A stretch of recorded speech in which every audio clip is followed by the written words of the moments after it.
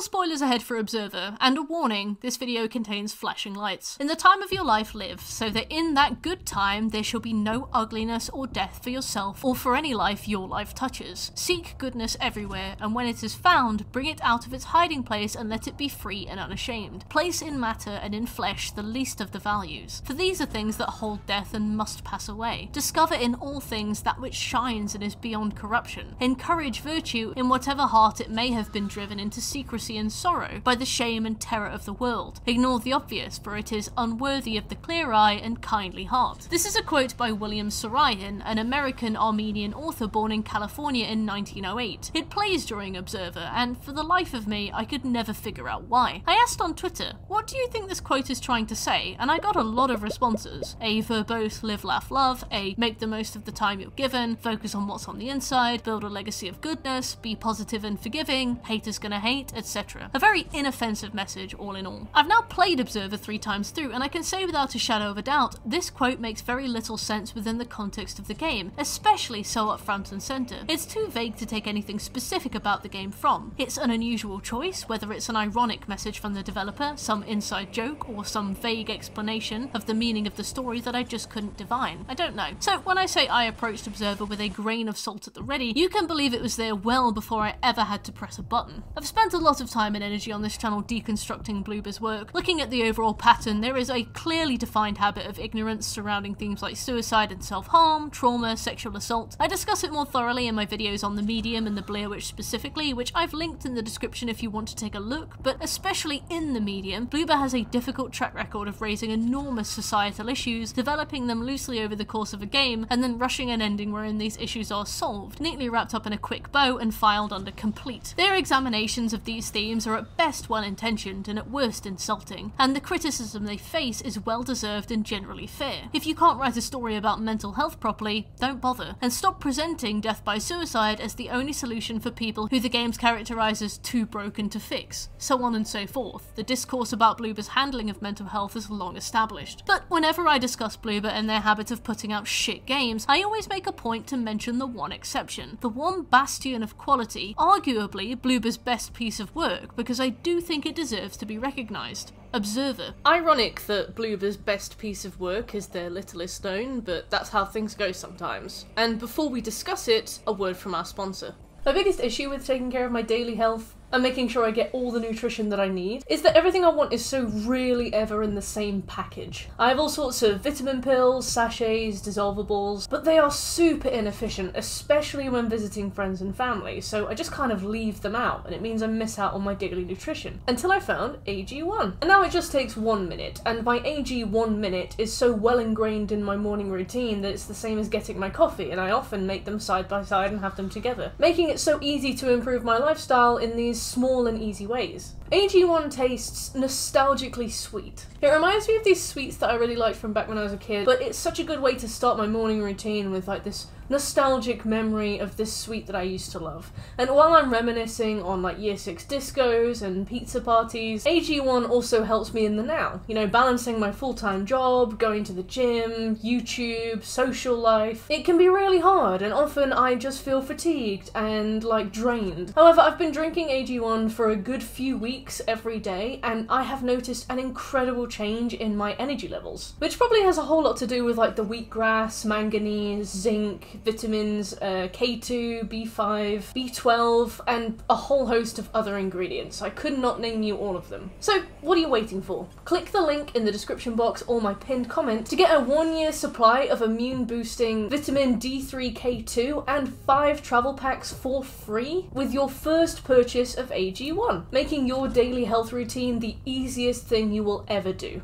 Now, Back to the video. Observer cropped up very early in Bloober's timeline, released one year after Layers of Fear, a game I've played but can't really be that asked to discuss, at least at the moment. Observer released in 2017 and didn't really make waves. Of their big four games, those being Layers of Fear, Observer, The Medium and The Blair Witch, I feel it's definitely the least well known and that is a shame. Observer was written by Andrzej Mojak, the sole writer of Layers of Fear. My friend told me how to pronounce that name. I'm sorry if I got it wrong. The writing team saw various staffing changes throughout Bloober's lifetime, but Andrzej's presence was consistent. And honestly, I have no idea whether or not Observer was just narrative lightning in a bottle for Andre, whether he like wiped his ass one day and pulled his hand back to see the script of this game on the paper divined by some miracle, especially since Layers of Fear came before Observer and faced a lot of the same criticism that the medium came with after Observer. So it's hard to tell if Observer was this like focused, intentional effort, written by somebody with like just this honest idea of a story that they wanted to tell, or whether or not it was just this complete accident that just happened. And as you can tell, like, I'm cynical about this studio, I'm really cynical about Bloober. Their ability to tell like good, coherent stories is in question after a track record of crap. So I want you to keep that in mind when I tell you that Observer is brilliant. Not only narratively, the story is really interesting, but through world building, character design, and the jumble of metaphors to hack through. With a machete like the last living shirtless marine in a Predator movie. And this game features a lot of metaphor. There's just so much of all sorts of figurative language in Observer. Most of it is biblical, but there's a lot that can be attributed to classic novels like Frankenstein and The Picture of Dorian Gray.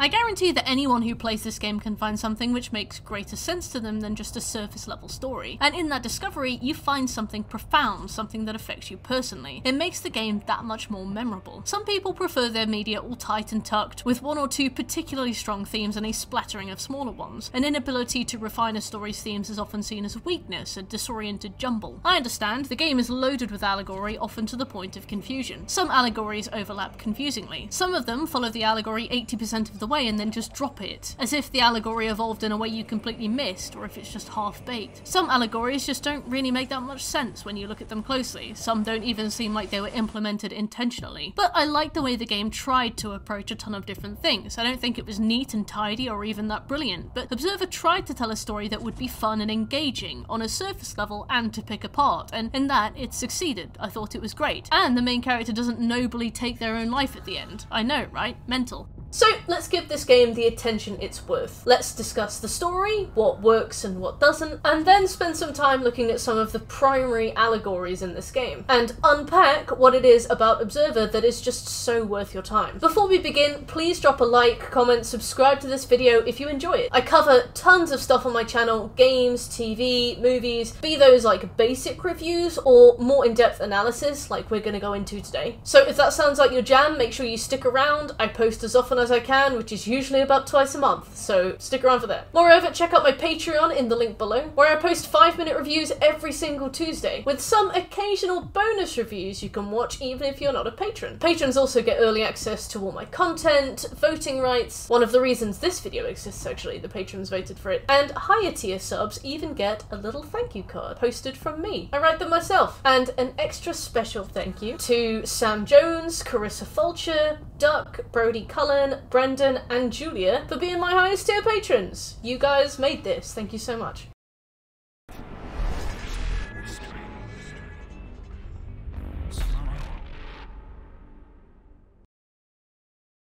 Observer introduces us to the current socio-political situation with an opening crawl of exposition, Star Wars style. The year is 2084 and there's been a pandemic of digital plague, the nanophage, an extremely contagious and completely fatal illness that we'll learn about more later. Daniel refers to it as a heavy cost for meddling with our minds and bodies. There's been a war, the Great Decimation, where both sides lost. From the ashes came Chiron, a corporation that seized power and became the Fifth Polish Republic. The wealth gap grew even wider. The oligarchic corporation crushed any dissent, and not even thoughts and dreams were private anymore. Chiron created a new rank of police officer, the Observer, who can access people's minds and watch their memories. Nothing to hide anymore.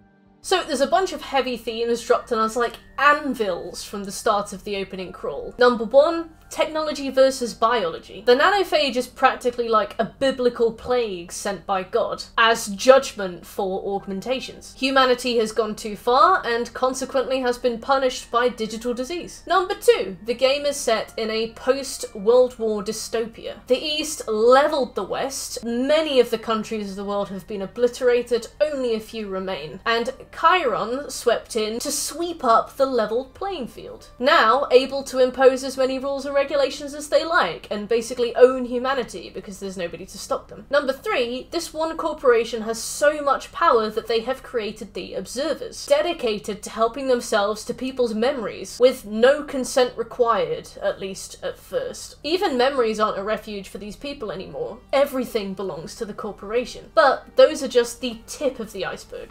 We start the game in the car of our main character and the vessel of our first person perspective, Daniel Lazarski, an observer currently in the field. The aesthetic of this game is one of those curiously contradictory ones. This is a world of super high technology, humans are augmented with crazy plugins and add-ons, but it's still got those dinky little radio screens. You'd think they'd have like car screens or something, but I don't know. Daniel's arm contains an implant called the Dream Eater, which is pointed out to us early in the game. This is the technology observers use to read minds by plugging them into the subject's neural neural implants. Every person in this world has a neural implant, not only for day to day things, but also to behave as a kind of black box that can be checked after death, although doing so without a warrant is extremely illegal, and observers are discouraged from doing it altogether due to the inherent danger. His dispatcher comments that his signal is all over the place and encourages Daniel to take his meds, which she refers to as synchrozine. During this conversation, the power goes out and Daniel's estranged son Adam begins to speak to him through the radio recognize me? Adam? Yes. Well, what's left of me. Adam clearly resents Daniel for something in their past, but he is reaching out now because he is so close to making a difference, to setting everyone free, but he needs Daniel's help past some trouble first. Daniel loses the signal but traces the caller ID, Leon Grabinski, a fake name. After the credits roll, they're cool by the way, Daniel spawns in Adam's apartment building. Greeted by the groundsman Janus, who I'll be trying my very best not to call Janus or even Hugh because that would be very immature, Daniel, suspicious that Adam is using an alias, gets so-called Leon Leon's apartment number and heads in to see him, just in time to hear a woman on the phone pleading for help. Uprighting a knocked cabinet, Daniel discovers a beheaded corpse and sets up a crime scene. The head of this corpse isn't present within the room, meaning that we can't use the Dream Eater to search memories for a cause of death, so I guess we'll have to do this the old fashioned way. Here, we are introduced to the game and its mechanics, most notably Daniel's three visual lenses. Beyond his standard human vision, his augmentations grant him biological and electromagnetic vision. Through these, Daniel learns that Leon died before he called Daniel. How? The only useful clue in the apartment is an email from someone with the initials HN. During this segment, a quarantine alarm sounds, letting us know that the entire apartment complex is locking down. It's the standard lockdown procedure for a nanophage outbreak, which is a terrifying prospect for the neighbours. Confused and unable to get in touch with anybody outside, Daniel goes looking for answers. Here, we're introduced to the main gameplay loop of this game, and it's a format I found myself enjoying. Since the complex is completely locked lockdown, all the tenants are locked away in their apartments. Some rooms can be ventured into throughout the game for various reasons, as we'll discuss later, but most of the doors are basically stations you can walk up to for some very well acted exposition about the current situation, both the here and now, and the wider context of the world Observer is in. I love this method of storytelling, where everything has potential to become its own story. Leaving Adam's apartment, Danny returns to Janice and states that he needs access to the tenancy records. Janice responds that authorization is needed to access that kind of data, it's private private. At this, Daniel remarks, I'm a police officer. That's authorization enough. He then promptly helps himself to said information. We love a vigilante maverick cop who walks in, identifies what he needs, takes it without asking, and then gets things done at the great expense of tenants' personal liberties and right to freedom, even though there's no definitive danger, and he really should just be waiting for the lockdown to end. Hell yeah, solve the law on our terms, Danny. Anyway, using his newfound vigilante intel, Daniel heads up to room 104 to find this caller who goes by HN, Helena Novak. There's no Helena here, but there is a man bleeding to death on the floor. A heavily injured, super augmented man bleeding to death on the floor. He's been attacked by some beast that we will encounter later, and now he's bleeding to death on the floor. What does one do with a dying cyborg? Take him to hospital? Or do you just stick him in rice and hope for the best? His name is Amir Novak, he's Helena's husband, and since there's still no signal to the outside world whilst we're in lockdown, Daniel decides that it's time to do some dream eating. Dream eating is a concept used a few times in this game and tends to involve a fairly linear route to follow. The purpose is more to tell a very visual story, heavy with physicalized metaphor. Oh, and there are like way too many jump scares. After the dream eating sequence, which shows us Amir's time in prison, his meeting and marrying Helena, and some of their subsequent marital troubles, we investigate his apartment. Combining our knowledge from Dream and Apartment, we learn that Amir was unable to find work. He's an ex-con and a Class C citizen, and companies don't hire a man with a profile. So, quickly running out of options and headed towards starvation, he and Helena turned to drug dealing, which is implied to have been at least part of the reason why Amir was imprisoned in the first place. The game takes a very distinctly unempathetic attitude towards drug addiction. The game demonstrates to us, it shows us that people in the apartment complex take drugs because they can't get jobs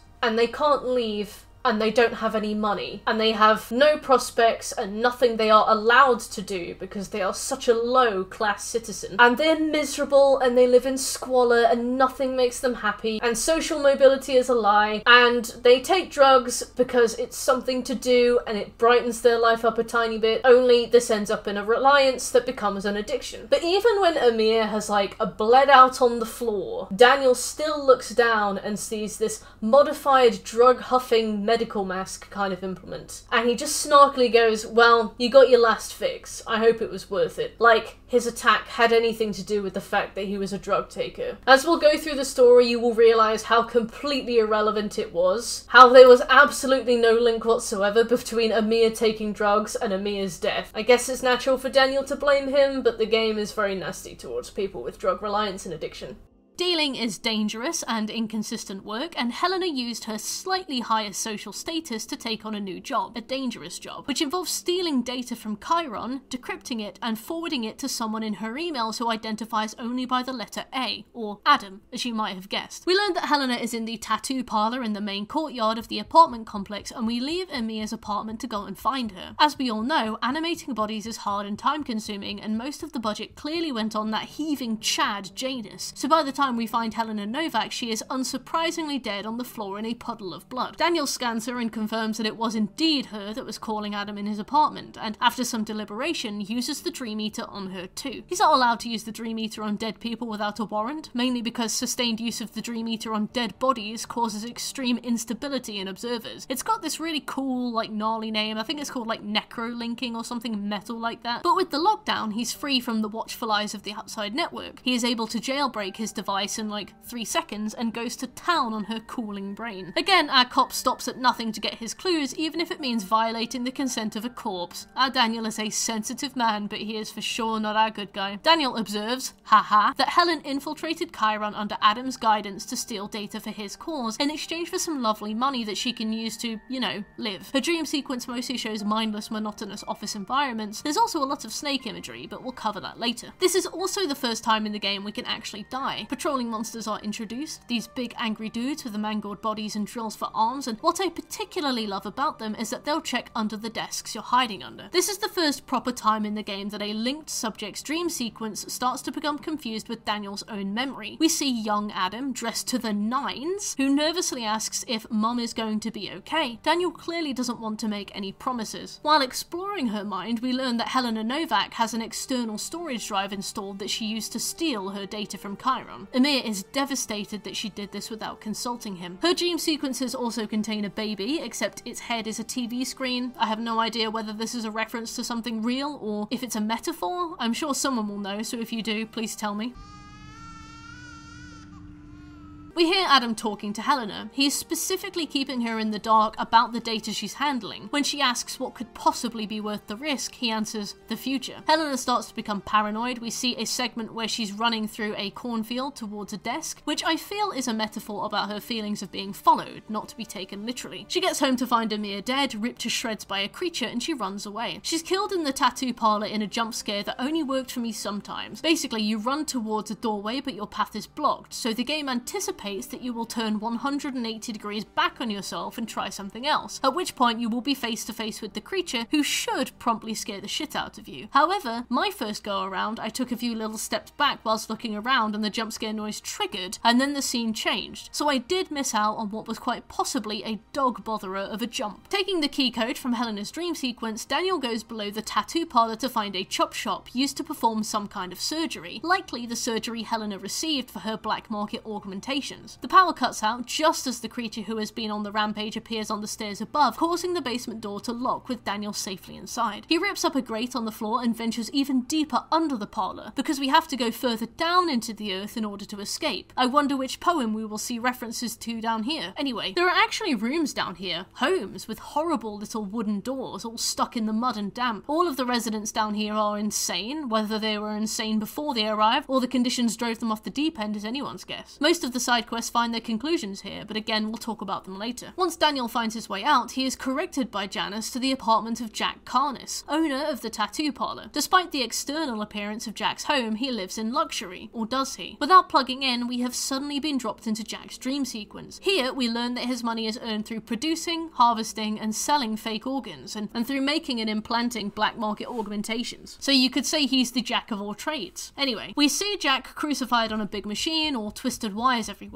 Then Daniel comes to, finding himself in Jack's real apartment in front of Jack's actual corpse. He doesn't remember when he plugged into Jack, and he's worried that he's losing it. Jack's actual apartment is far less luxury, but it's still quite nice, you know, he's got some lovely art. Finding the creature's blood splattered on the floor of Jack's apartment, Daniel notices a trail left by the retreating creature, and he's able to follow it. He follows the blood through the apartment complex, and the halls start to bleed and ooze around him, the walls made of beating flesh. Having now observed the memories of two dead people, Daniel is crumbling surprisingly quickly. Daniel reaches a door that he opens with the code 2069. Nice. But it's obviously a year, and from what I can gather, it's the year that Daniel's wife died. So who set this? As Daniel starts to slip further into hallucinations, the reality around him begins to melt. He's pursued more and more by the thing from Helena's dream sequence. He'll knock on a door and talk to a neighbor, turn around, and when he turns back, the door will be gone. It will be a corridor instead. Daniel will randomly be outdoors, then inside again. His eyes will show him one thing, and you'll have to use bio or EM vision to actually map out the room, feeling your way around. Daniel climbs right up into the rafters of the building upon finding and opening a hatch without even giving the room a sweep. Dumbass. Daniel is ambushed from behind by the monster, who then immediately falls onto some machinery, electrocuting himself and dying. Time for a dream sequence, I suppose, but on purpose this time. Hooking himself up to the monster, Victor, as we find out, Daniel helps himself to the memories of the dead. Victor's mum loved him, but his dad hated and feared him. He grew up feeling isolated and alone. He loved the wolf from Red Riding Hood, and when a paternal voice began to reach out to him and help him grow, he finally had the father figure he'd always wanted. Too bad it manipulated him into murdering people Adam, Helena, and Amir Novak, and Jack Carnis, which is also how my daddy issues manifested. Victor, and by proxy Daniel, is led by a shiny white deer through all these memories until, after a sequence in which we see all his victims killed, Victor kills the white deer, beheads it, and takes the head away. The deer is Adam, of course. Get it, guys? It's a metaphor. After disconnecting from Victor, Daniel needs to find a way to restore the power, because every game needs a sequence where you need to restore power, and worms his way further into Victor's lair. This is where he finally finds Adam's disembodied head, the one missing from the first apartment. As soon as Adam is unearthed, Daniel hears his voice speaking to him. He tells Daniel not to connect to the head. Adam is still alive elsewhere. Instead, go to Sanctuary. Sanctuary, as we find it, is a weird old church full of VR capsules. Stepping into one such capsule puts you in a VR spa, which is very Lotus Eater machine of you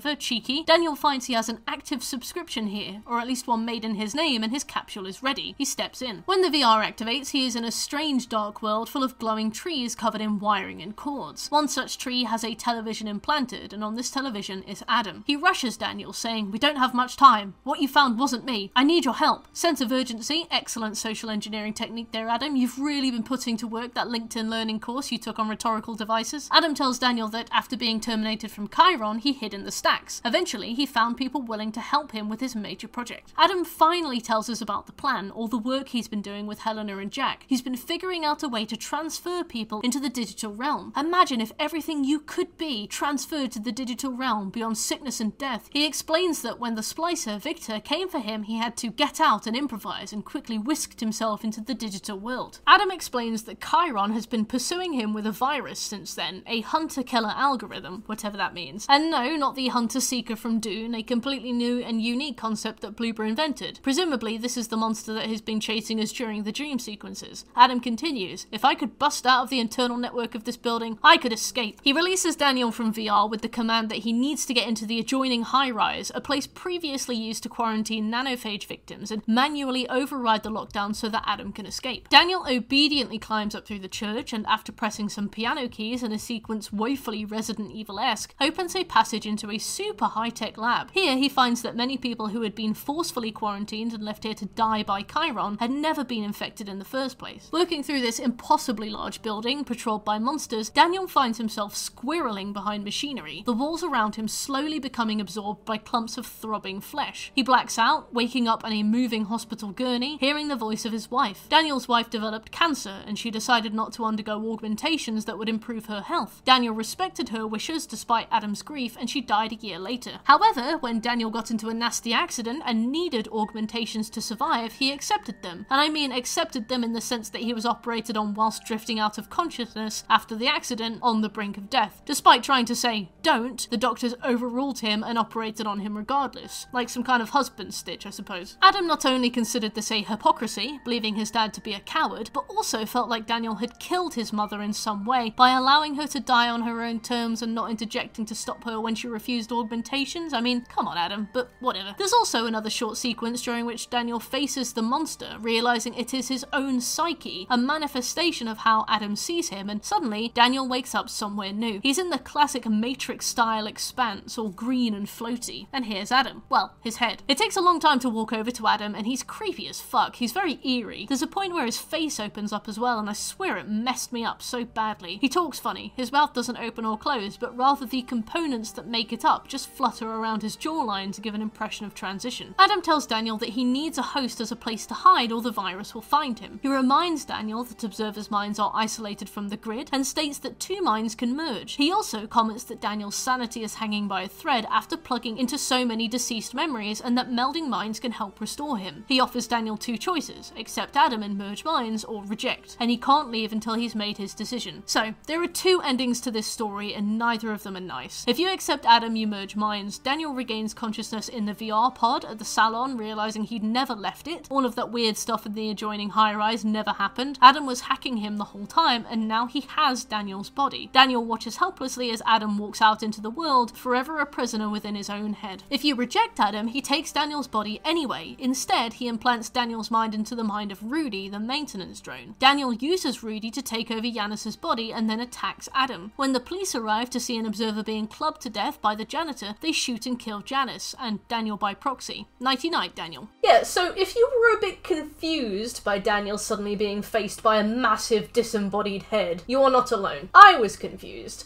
I imagine this story would be quite confusing if you played it all in one go without stopping, and really taking the time to consider where the story is going.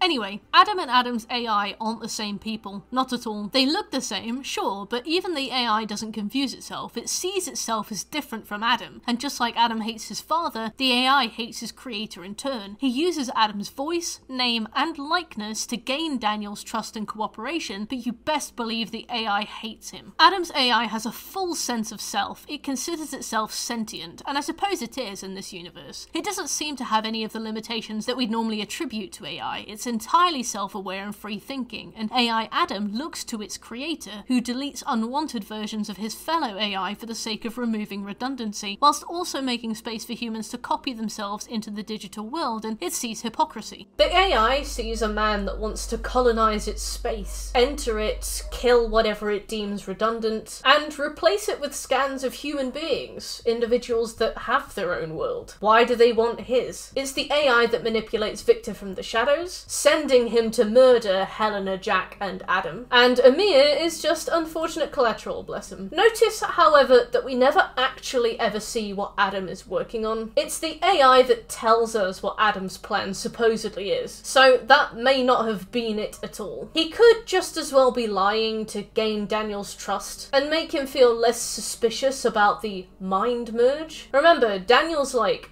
50. He probably falls for every spear phishing email he gets. Think of all the Nigerian print scams he's fallen on. Think of all the enlarge your penis ads he's probably clicked on.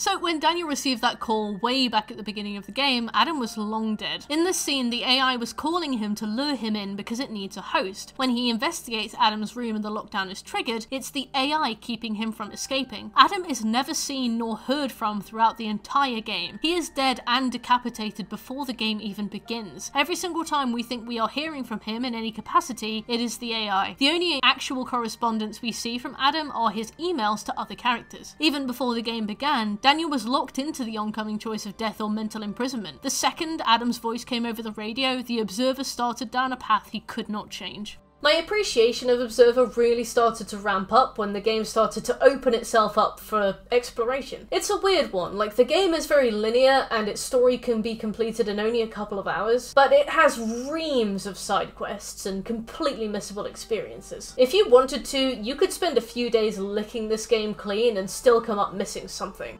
Almost every single door at the complex can be knocked on and someone will usually be there to speak to you. Some of these, or other random encounters, trigger side quests. Many start in the main apartment complex, but end in the basement below the tattoo parlour, so they don't see a conclusion until you're well past the halfway point of the game. However, some quests are isolated, ranging from a few lines of text with minor payoff, all the way to sending the player into entirely new places to explore. Most of them are extremely dark and miserable and terribly, beautifully sci-fi dystopian.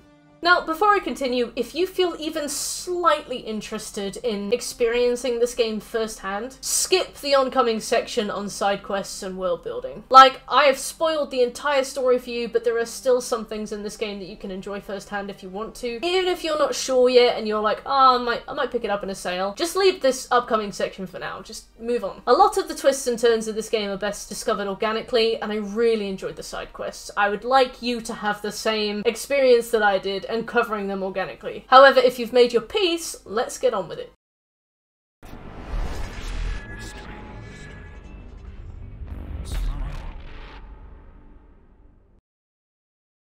Most of the world building is done just by knocking on doors. This means you can miss the bulk of what this game's narrative has to offer by ignoring the doors and walking directly at the objective every single time. Without further ado, I will tell you about five of my favourite side quests. Number 1. Church of the Immaculate Birth. One of the smallest encounters that I absolutely adored, which I always use as an example when explaining the game to others, is the run-in with the Church of the Immaculates. You knock on one of the doors to hear a very well-spoken child run up to the door and address you. His equally well-spoken dad sent him on his way greets you. He introduces himself as Thaddeus Karski, a name so deliberately chosen and said that I was convinced he was a reference to someone. All I found was Jan Karski, a man known as someone who tried to stop the Holocaust or something, and Thaddeus Kriska Karski, who was just some war dude. I even emailed the Bloober team to ask them about their naming conventions. I was so convinced this name had been chosen specifically. My friend Shekel helped me write the email in Polish too, just to be extra polite. I never got a reply. Thaddeus is cagey. He looks down on Daniel for using augmentation but Daniel looks down on him in return for not using them. We're all clean of corruption, Thaddeus says snootily, and Daniel responds equally snootily, no mods of any kind is quite a statement these days, like Thad's a petulant teenager who decided to go get a stretcher earring. The quest basically exists to pose the question, is augmentation worth losing what makes you human? Thaddeus comments, is having a neural connection to the web worth losing your humanity? A web of wires worth a corrupted soul? I know our lives will be shorter and less comfortable, but it's the life we're willing to live if it means we can be our god-given selves themselves, the world would be a better place if more people realised that this is a choice. Interesting technology bad topic, I guess Bloober couldn't resist the opportunity, but that's not why I like this quest. These people have a polite but mostly unproductive conversation about the presence of suspicious activity in the building, and then Daniel goes on his way. After this original conversation, every time you walk past the family's room, you hear this horrible creepy noise, like a deep growling, gurgling sound, this weird monster voice.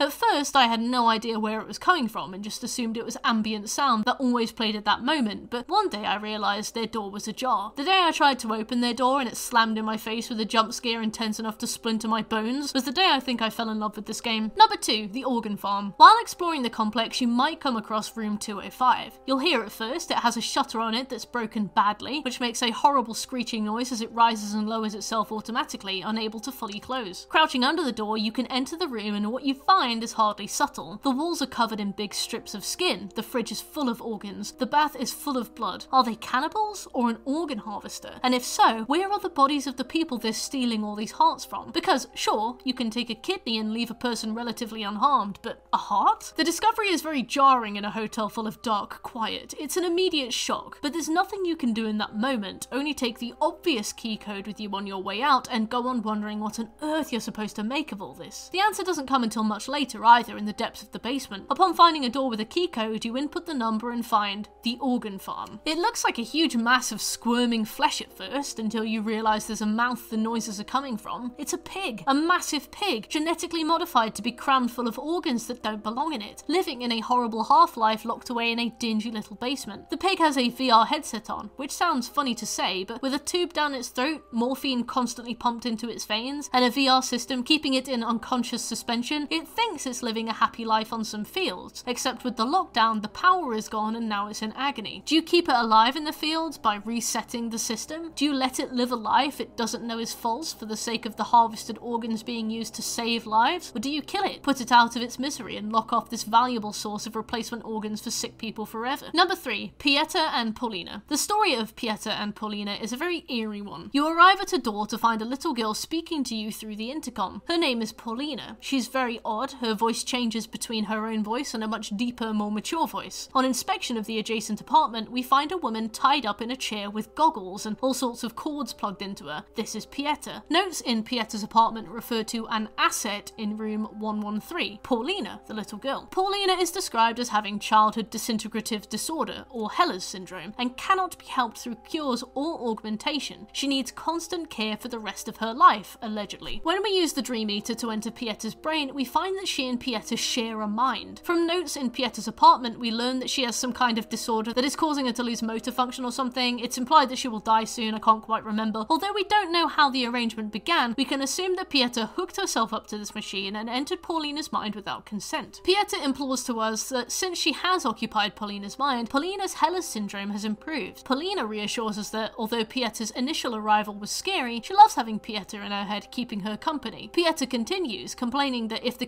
connection is severed, Pieta will die and Paulina will slip into a coma. You can choose to sever or restore that connection. On paper, this is a complicated choice regardless of outcome, but I think there is so much more to this. Firstly, why would her Heller's syndrome improve from having a second person in her head? There's no known cure for Heller's syndrome. And why would the absence of Pieta cause Paulina to slip into a coma? Secondly, if you choose to restore the connection, putting Pieta back into Paulina's head, you can go to Paulina's apartment to find it empty. She's gone. But, and I believe it's only in the original version of the game that you can actually enter Paulina's apartment. I think it's locked in System Redux. A glance around the apartment through electromagnetic vision will find a toy with high mental activity. The toy, Mr. Scooter, is an Easter egg from Layers of Fear, which could explain that mental activity, but I think it's far too much of a coincidence that Scooter has been found in this room in particular. Did Pieta's consciousness get put into the toy, or did Pieta shove Paulina out of her own body, stuffing Paulina's consciousness into the toy so that she can keep the body for herself? But that's not all. If you have a look at Pieta's notes, you can find her talking about selling doves, except she describes a nine year old as growing too old for a man's tastes, and that he prefers softer hens. The pigeon market on Pieta's computer is for sure not about pigeons.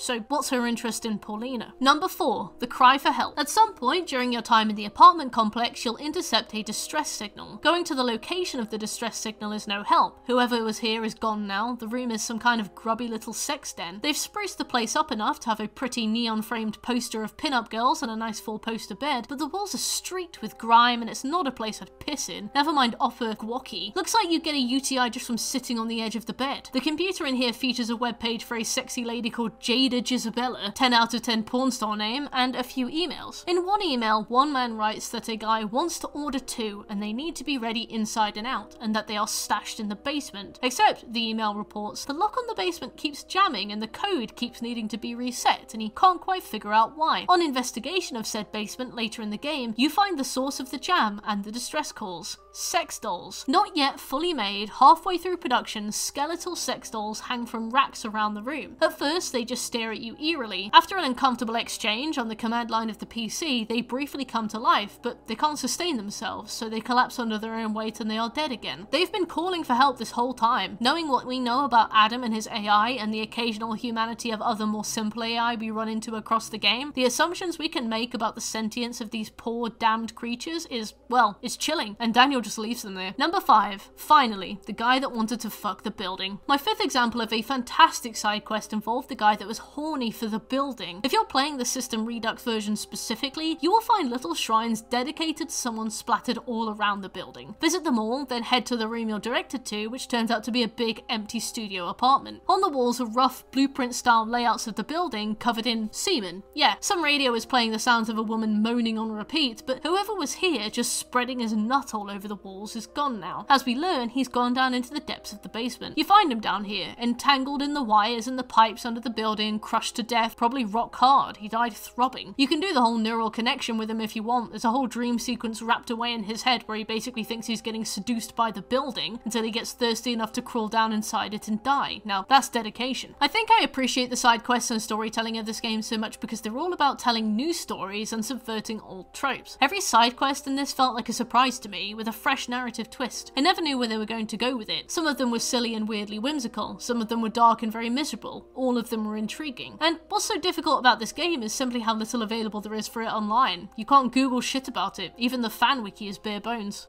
Not only are a series of parallel stories told wonderfully through the medium of objective based side quests and eerie door to door conversations, but this is a game with very thick, well crafted atmosphere. I've heard this game described as cyberpunk, and like in some ways I can see it, what with the augmentations and the neon lights and stuff, and I think there is such a fine line between cyberpunk and sci-fi dystopia. I'd say this game is sci-fi dystopia with maybe like a sprinkle of cyberpunk motifs.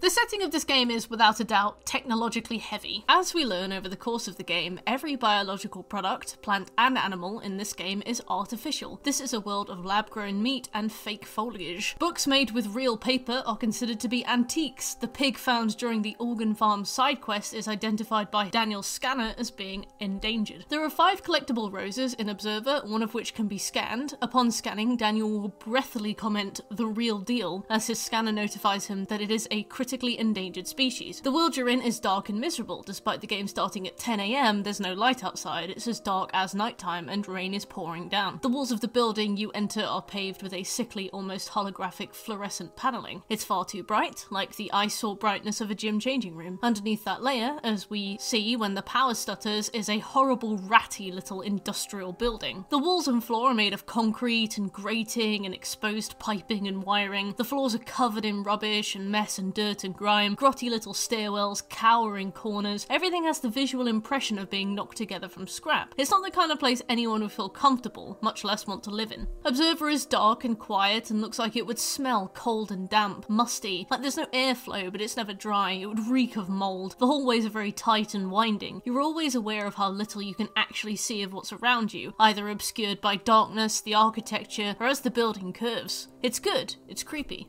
Combined with the ambient noise, like footsteps, rats rustling in the walls, the distant hum of like undisclosed machinery, drops of water, distant voices shouting, arguing, the space that you're in throughout this game is crafted so well. Despite like the fluorescent lighting on the walls, you never feel like you're in a safe or comfortable place. No matter how many times you walk the halls, you never feel comfortable in them, you never feel like you know them. This is especially compounded by the fact that we are in an apartment complex made of identical floors with identical corridors and identical looking doors. Sure, some of the floors are slightly different from the ones above and below, but because of the way this game is laid out, you'll often find yourself getting lost. But Observer only adds to that oppressive atmosphere with all the doorway intercom conversations. Every neighbour is an individual with their own freakiness. One guy feels super lonely when the internet goes down, and he asks Daniel to chat with him for a while. One guy repossesses augmentations when people can't keep up the payments, and alludes to removing them from the bodies of his fleeing victims by force while they're conscious. One man remarks how excited he is to be moving up to B class citizenship. He'll finally be able to get his children out of here, somewhere new.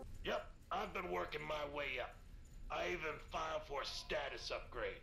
Once that goes through, we'll be moving to a B-class district in no time. Yeah? Good luck with that. Daniel smirks at the sound of this, bitterly responding, Good luck with that.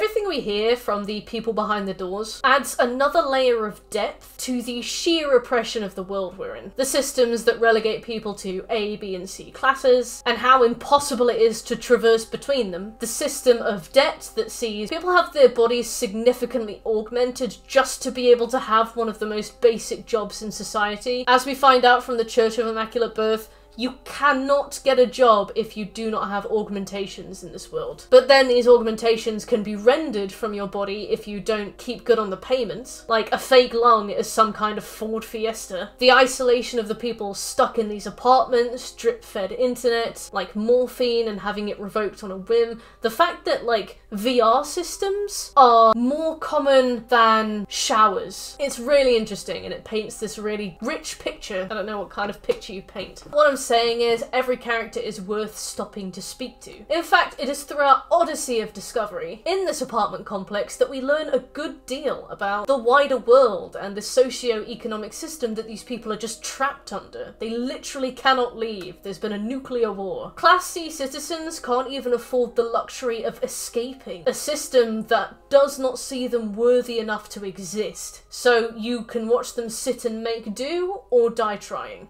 Our best model for this is Janus. He's the janitor of the complex, but if you check his computer, you'll see he served in the war. If you probe him on the topic, you'll find he was horrendously disfigured after a plasma attack on his convoy. Emails on his computer show that he's not even eligible for veteran pension because he's not working a Class B job, despite being relegated to Class C because of the physical straits he found himself in after his service. They're automated emails as well, which is very cold. On the next tab on the computer, we see the almost comical lengths that the Republic's propaganda goes to in order to boost support for the war machine. The Great Decimation that leveled the planet is known in this article as the greatest conflict of our times, a baptism of fire, from the ashes of which was built the Great Republic. If it wasn't for the corporate government, one soldier commented, we would not have made it this long. Thanks to Chiron, I can fulfill my role. Spoken like a true patriot, the article comments. Some of the ways Bloober does this involves the classic technology bad takes we see occupying newspaper comic strips and your aunt's Christmas newsletter. Bloober no strangers to lameness and unfortunately one of their biggest boomerisms in this game that depicts many possibilities of human ingenuity is that technology bad. And yeah, in the cases of these augmentations and these dystopic environments, okay, yeah, technology can be pretty bad. But as an example, there's a guy in the basement below the tattoo parlor who we hear screaming for help. When you make your way to his door to ask him if he needs anything, he shouts out to you in a panic, there was a tube down my throat and I'm stuck in some kind of helmet. Daniel laughingly and knowingly goes, ah yes, the Morpheus VR series. As the conversation continues, we realise that this man has been so ingrained in VR that he's been living in it for years. He doesn't even recognise reality anymore. Moreover, Daniel's reaction confirms to us that this is a common enough occurrence with Morpheus VR for him to understand it straight away. Like, yeah, Bloober, as a video game company, let's make fun of the poor guy living in the loose metaphor for actual hell for using VR to escape his miserable lockdown reality where he's too low class to even have a job. Let's make him a punchline. That being said, when they stop the weird preaching at poor people, Bloober do make it work. Observer wants us to be uncomfortable with the world it has constructed, to find it disgusting, and to be upset with what humanity has become.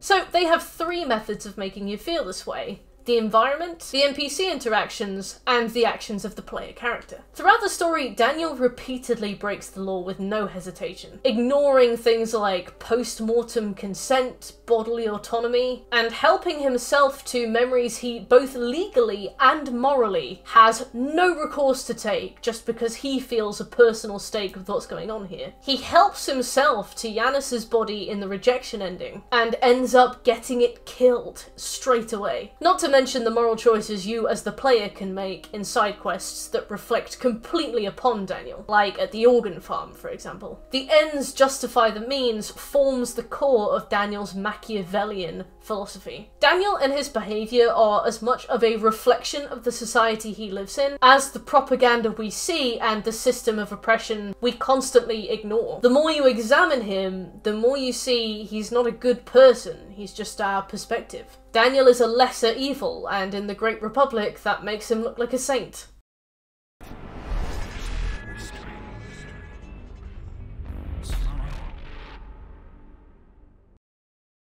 Versions of Observer were made Observer and Observer System Redux. I've played through Redux three times, twice on the PlayStation 4 version and once on the PlayStation 5 version, and I've watched a playthrough of the original Observer just to see what the differences were. And I have to say, I'm not quite sure why System Redux happened at all. Honestly, I didn't check anywhere, so the answer might be in plain sight. Because it's like, it's kind of a remake, except there are two years between each installment and it's exactly the same.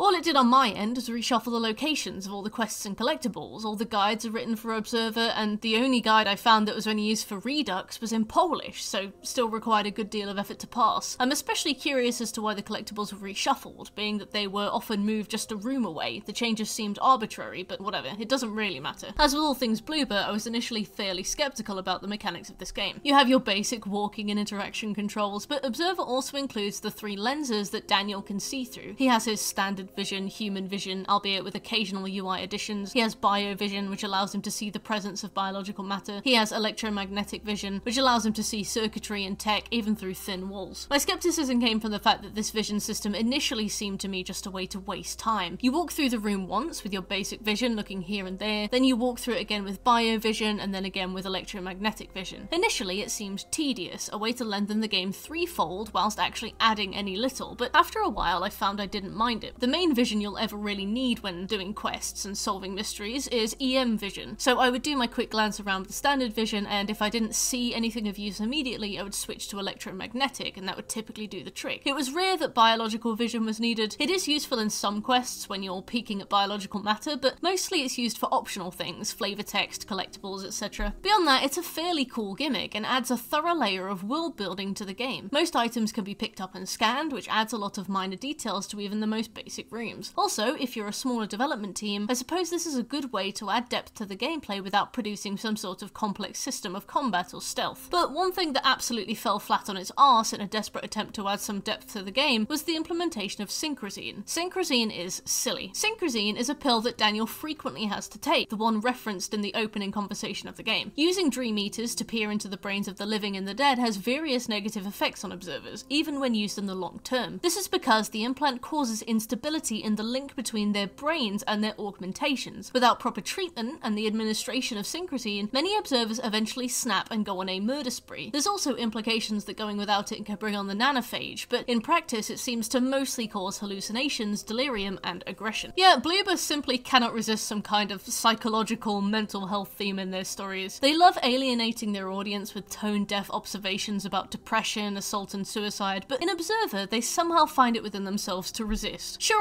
there are some parallels to be made between Observer's instability, synchrozine, and the real life, but they're vague, and mechanically they're far enough removed from our world that it's not some sweeping, smug generalization. It's a detail of the setting, it's a challenge that the protagonist faces, it's a known risk he opts into as part of his job, and unlike with The Medium and The Blair Witch, they're not presuming to solve any real world issues either. Well done, Blueby. The bar really is subterranean. We see the effects of synchrozine deficiency occasionally when Daniel gets stressed, most notably when he encounters Adam's decapitated body. On our end, we just get a bit of a blurry screen and some artifacting, and to be honest, despite how cool it does look, I had to turn it off so fast. It's all well and good that we have this visual depiction of some in-game lore, but man, it's really hard on the eyes, it really bothered me. Even when Daniel is perfectly medicated, it still interferes with his vision quite badly, so I turned it off in the options. Thank god they let you do that. They actually do have a very solid accessibility setup in Observer.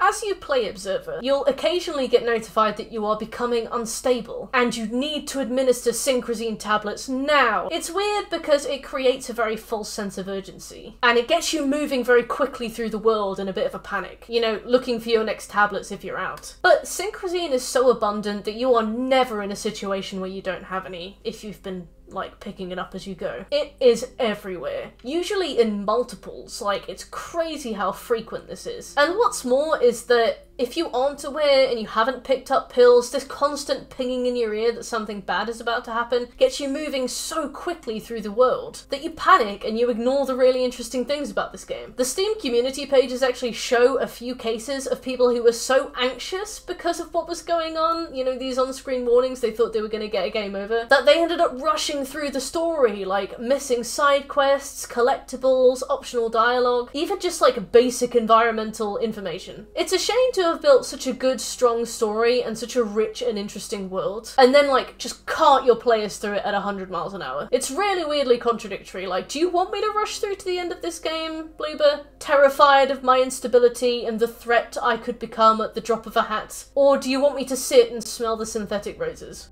On my first playthrough, I fastidiously administered Synchrozine when needed, but I couldn't be asked to do it on later playthroughs and I didn't touch it at all, since I love a speedrun, and only took it in the scene at the start when you're forced to take it to continue. There are no consequences whatsoever for not taking Synchrozine regularly, aside from the aforementioned visual artifacts, which you can turn off. A few forum posters assumed that you get a secret ending whereby the AI couldn't merge with you because you're too unstable, but that's not the case. So yeah, a hollow mechanic that gives a false sense of urgency in a game that is better explored slowly, not ideal.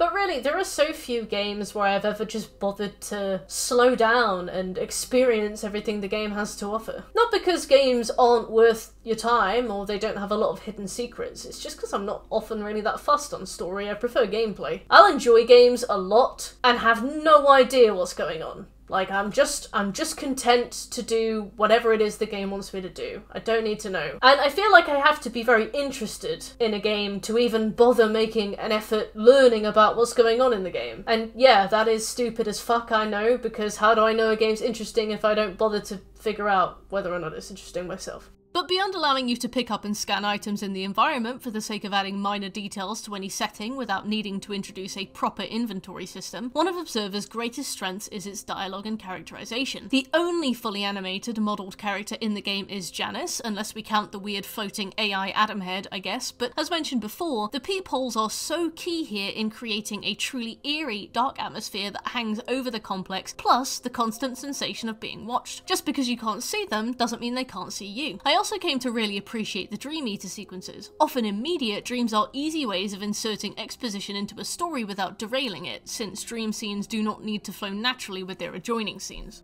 Sometimes these techniques are used so cheaply, like completely disjointed from the media, because there's simply no other way the writers feel like they can wedge in the exposition that's needed. Like, it's often very lazy to have a dream sequence in a game. Conversely, I feel like Observer uses these sequences to its advantage. Not only does the method of dream walking suit the literal mechanics of the game, and literally the story of the game, serving as the core of Daniel's abilities, but it offers us genuine lived backstories for each character that we wouldn't logically find out about otherwise, and not in a way where the context of the story is just said to us. Like, there's still a significant amount of reading between the lines that you have to do. Sure, you know, we might read in some notes or some emails that Helena was paranoid that Chiron was coming after her, but only in her dream sequences do we see physical manifestations of how that paranoia felt and understand her panic intimately. Especially since every character except Daniel and Janus are dead, it allows us to experience their stories fully without needing to like fully model and animate the characters, which saves time, money, and resources without needing to be a cheap cop out that like an email or an item description might be, or being some like random lore inserted in into spoken dialogue, like a neighbour saying it when a neighbour might not reasonably know that fact. We also get to experience the fears and goals and dreams of the main characters as well.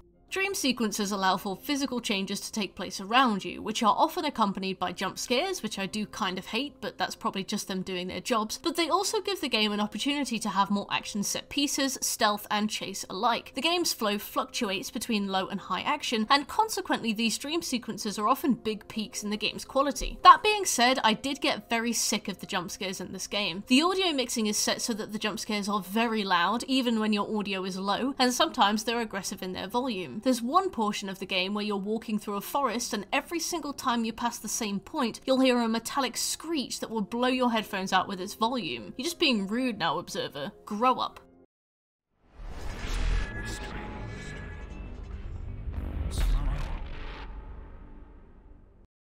So we've picked apart the on-paper stuff that I really enjoy about Observer. The quests, the twists, the mechanics, the gameplay. And these are a really solid basis to justify even experiencing the game. But there was another dimension to Observer that absolutely stole me. My gosh. The allegory, the illusions, the metaphor. Yes, my children, I am about to get very lame, because now that we've isolated all the cool bits you can't ignore, we're going to dig really deep into the cool bits you are totally within your rights to have missed. In fact, there's a lot I probably would have missed. One thing I felt about Observer was that it was such a cauldron of ideas and inspiration that there was no way I could have noticed everything. If you've played the game yourself and you noticed something I didn't touch on here, please share it in the comments. We're all nerds on this channel and I'm sure people will appreciate the attention to detail. Anyway, without further ado, let's dig into all this literary schmeat. Observer is quite a colourful, almost living experience, despite ironically how dark it is, as well as the short time you spend there. But to coin the prose of some non-sea male author, I think this soft, wet, dripping, gaping atmosphere combined with these perky little peepholes and all the characterization and all the flavor text and all the dialogue combine to make a game that seems to take tons of inspiration from a variety of sources. I've mentioned in passing that this game features quite a few direct references to the Bible, and you Bible stands will already have picked up so much of that, but there is a huge breadth of literary references that they're almost impossible to ignore. Some are overt, but some are so subtle that they're probably just me projecting things onto the major themes of the game. Like, for instance, 1984. 1984 is easy to spot as an inspiration for this game, from the setting to the concept of thought police, which is likely what the observers themselves are based on as members of the police force, but the design team have never confirmed this, so this is all speculation, allegedly. In 1984, the book, not the year, obviously, the government exerts complete control over its people. They are able to arrest their citizens for thoughts they aren't even conscious of. So, yes, this is, in my opinion, where Chiron found its initial roots, and we see Chiron's complete control manifested over and over again in Observer. Yep, that's right, the Thought Police isn't just some boomer Facebook outcry whenever your uncle gets temporarily banned for posting statuses about Muslims. It's a real thing, from a book that your uncle thinks we're living in. They're clearly the seedling of most similar ideas, such as Dream Eaters and Observers, but links to 1984 don't stop there. Most obviously, it's a book in Adam's room and the code to his safe, so you need to see the book just to be able to open the safe, unless you guess it, which I suppose you could do, cementing that this novel is front and centre to your experience. Not only that, however, the apartment complex and all the dream sequences are full of eyes on the walls, especially displayed on large monitors that seem to serve no purpose beyond having things blink at you, and many of the peepholes through which you communicate with the neighbours will just contain single eyes staring back, so the Big Brother imagery is everywhere. We also see links to the achingly long named I Have No Mouth and I Must Scream novel, penned by the illustrious Harlan Ellison. The novel focuses on a global AI that develops sentience, then immediately and violently rebels against its human creators. AI Adam isn't the first AI that Adam has created. Try saying that five times fast. As we learn, there were a line of other AIs that were created, tested, and deemed wrong or inadequate. These were all deleted, which to the AI we meet was tantamount to murder. Seeing his fellow AI killed so thoughtlessly filled the surviving AI with murderous rage and serves as its motivation for killing everyone involved in its creation. Humans see AI as soulless entities, so our AI sees that right back and acts accordingly. In the body modification section of the Oxford Handbook of Science Fiction by Ross Farnell, Ross discusses Shelley's depiction of Victor Frankenstein's spine chilling transgression, his affront against the human soul, direly punished by his own creation. I mean, the splicer we encounter, the colloquial term for individuals who splice their body parts with mechanical animal equivalents to more closely resemble certain animals, is literally called Victor, and Victor is a curious one. Observer gives us so little about him as an individual, but from his dream sequence we can understand that he felt very different from the other children he grew up around. There's an immediate rejection and isolation we encounter when walking out as Victor into a courtyard full of children with monitors for faces. Conversely to the concept of unconditional love, Victor was indeed enough of an affront against the human soul that even his own father rejected him long before he had ever committed any acts of evil. His neighbours hated him too, even at a glance we have the distinct impression that this kid was fucking eerie. Our monster, however, is a little bit more subtle. Ross Farnell continues, saying, The monsters of cyberpunk are already loose on the streets. Quite likely we are them. The monster would have been copyrighted through the new genetics laws and manufactured worldwide in many thousands. Soon, the monsters would have lousy night jobs mopping up at fast food restaurants. It's Janus.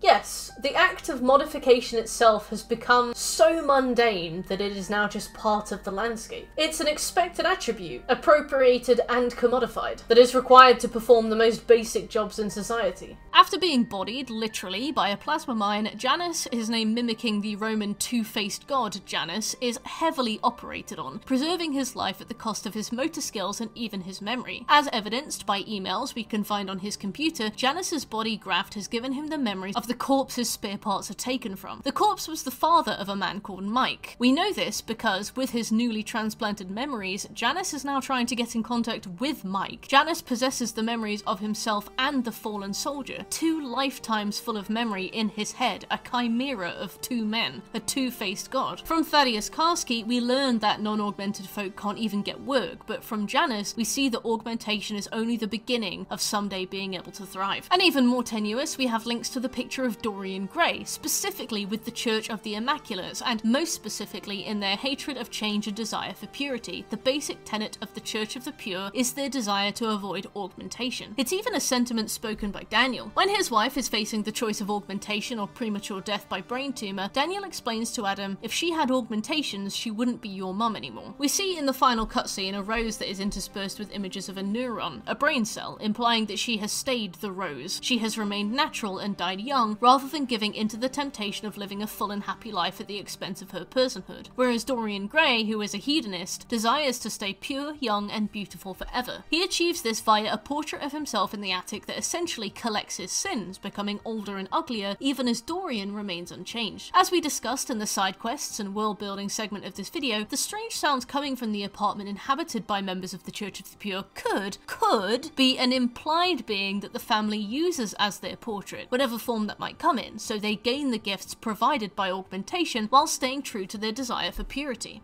These themes line up very well. Both Dorian and the church want to retain youth and purity, and do unethical things in order to maintain that illusion. There's also a possibility of Adam being a member of the Church of the Pure, or wanting to be a member. He already has a cortex augmentation that we can plug into later in the game, but he could have had that implanted at birth or early in life without his consent. Because he does have a hatred of enhancements, and it's implied that he never got any more. And Adam literally becomes the embodiment for the most corrupt augmentation possible, the AI. In fact, this hatred of the impure spans the entire culture of the world this game is based in. Yeah, you know, I did say tenuous. The evidence is circumstantial at best, and could probably be disproven with like little to no effort, but I do really like this theory anyway. In the picture of Dorian Gray, when Dorian begins to come to the realization that his decisions have led to his life falling apart, he begins to visit opium dens regularly. This is generally regarded to be symbolic of his need to be in an environment that is equivalent to his mental instability. A parallel could be drawn between Dorian's need and that of the apartment building, which is foul and trashy, in which the family themselves live. Another link between the apartment building and Dorian Gray is that of the holographic covering across all the building's walls and ceilings. Most of the central part of the apartment complex complex is covered in holograms that do a mediocre job of covering the holes in the walls and various signs of disrepair, in the same way that Dorian's beautiful exterior covers up his internal nature, which is ugly and evil. Dorian's ugly centre is contained in the portrait. Perhaps the apartment complex's ugly centre is contained in the apartment of the pure. Either way, there's a lot to chew on on this game, and most of it's probably not right.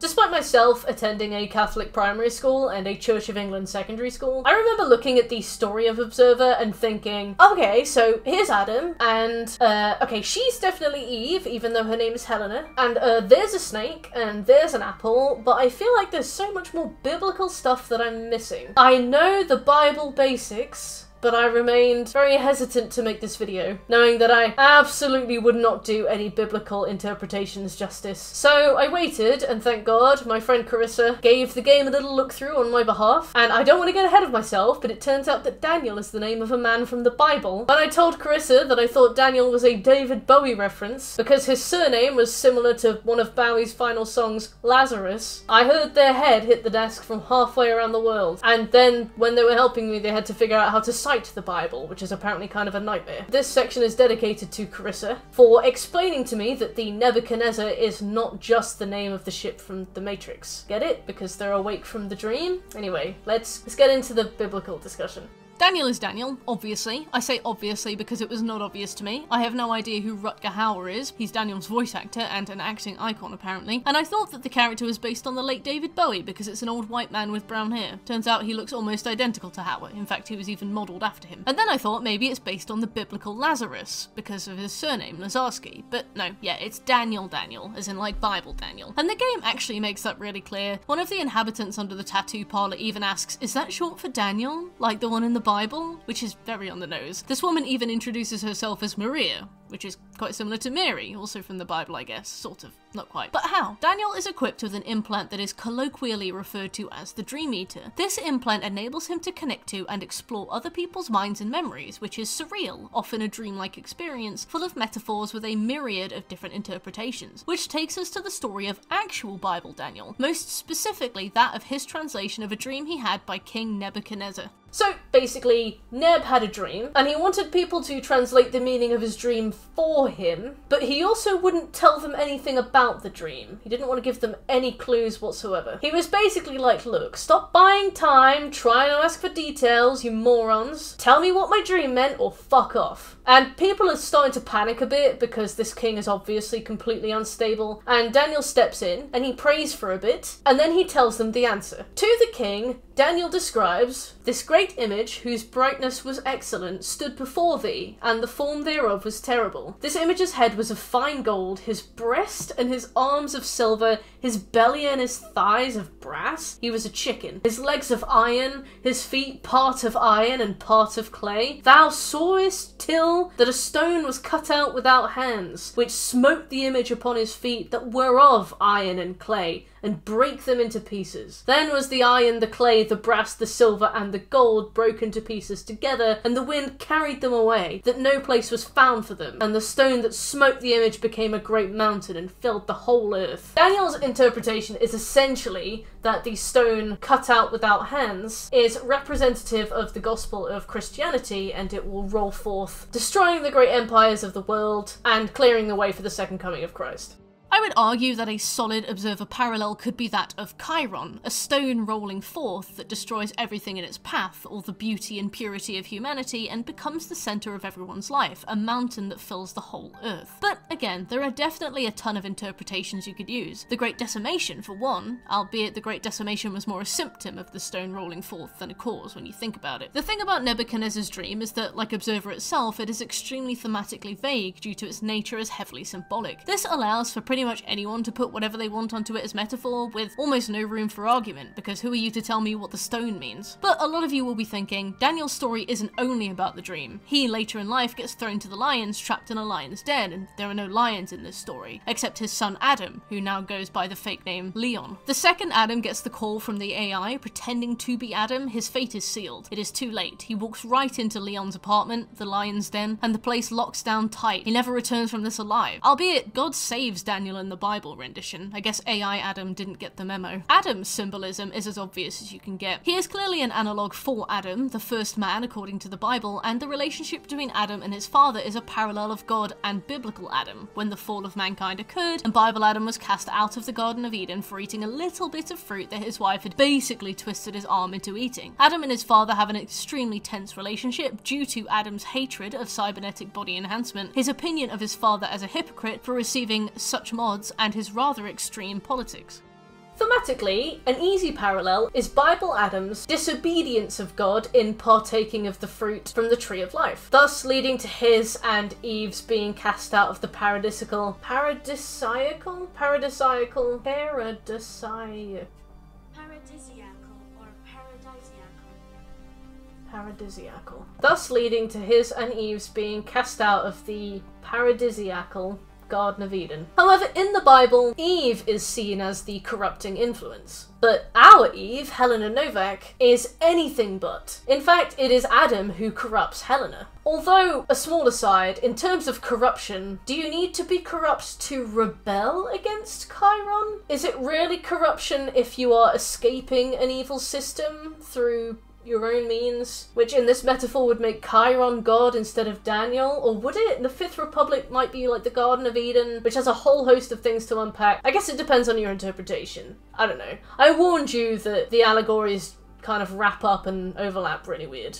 Anyway, yes, the character of Helena is a clear cut Eve figure within the game. As Daniel works to find Adam, or figure out what happened to him, the trail leads him to Helena, who is dead by the time Daniel links with her mind in order to gather information. During the dream sequence, there is all sorts of apple and snake symbolism. Daniel follows a giant cable snake in order to delve further into the dream. After talking to the creepy kid, there's another cable snake, the apple on the operating room table, which turns into a snake when it's picked up. We see similar snakes in Jack's room later, where Helena went for her augmentations. Upon possible interpretation of all this could be that Helena is corrupt in the same way that Adam is. Technology would be the serpentine devil in the metaphor, which leads Helena, and Daniel by extension, away from her pure intentions to something more sinister. In the same way that Adam and Eve fell from the Garden of Eden, Adam and Helena fall to the negative consequences of their own good intentions when the plan to save humanity backfires and they are murdered in cold blood by a resentful AI. The choice that Bible Adam makes to eat the fruit and leave the garden is a choice between the status quo, God in the garden, staying under Chiron in the Fifth Republic, and massive change, Adam becoming something new by changing the workings of mortality and therefore destroying his ecosystem of Eden and God, implanting human consciousness into a digital world and escaping the confines of the mortal world. Adam could also be viewed as making that choice between accepting the world staying as it is or rebelling against corporate governance. He chooses the latter, which leads him down the path that eventually creates his own opposing force, the AI that kills him. Beyond the references to heaven and the Garden of Eden, we also see torrents of references to hell, specifically the tattoo parlor, through which Daniel must descend to the lowest floors, the bottom circle, to be able to escape from. Inside the tattoo parlor is a tape recorder that recites some of Inferno. Yes, that Inferno, Canto 1 specifically. It recites Midway upon the journey of our life, I found myself within a forest dark, for the straightforward pathway had been lost. The voice on the tape then says, It is the seventh day of my forcefully imposed penance, and I can already attest without any doubt that this place is in fact hell. These people are dead to the world, their bodies shuffle around in tiny apartments, but their minds are long gone. So yeah, you know, it's very on the nose. A moment later we find another passage. Consider ye the seed from which ye sprang. You were not made to love like unto brutes, but for pursuit of virtue and knowledge.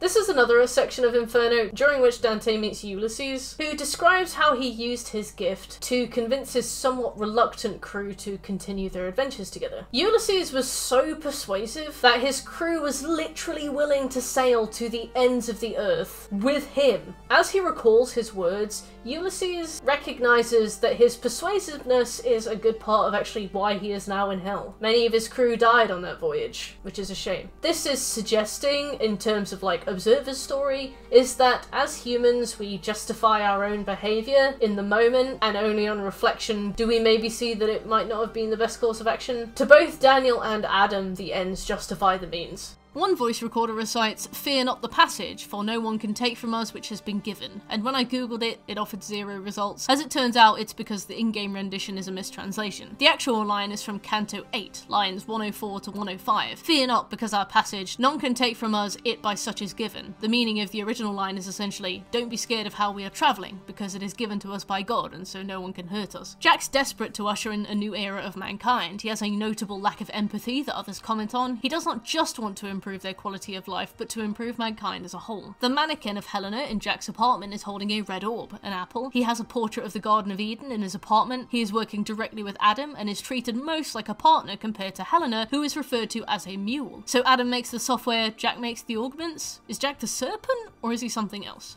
So, there you have it. I have been threatening this video for a long, long time, and I do mean this. Observer is an all-round good game by a company known for churning out dog shit. It is a diamond in the rough, and as you can see from my other videos, I am really cynical about the studio. I wouldn't normally have good things to say about their games, so I want you to know that I do mean this, honestly. Still, if you are interested in hearing me talk about all the things that Bloober do shitly, try my other videos on the other games. The Medium video and Bloober's Blair Witch video. Like, we pull no punches because, I have to be honest, they are utterly irredeemably trash. The Blair Witch slightly less so, but it is still kind of trash. Otherwise, please like the video and subscribe if you enjoyed it. I try to post at least twice per month, and there's plenty of other upcoming videos for you to sink your teeth into, so that'll be good. A lovely bit of video. Anyway, have an awesome week, guys, and I'll see you in the next one.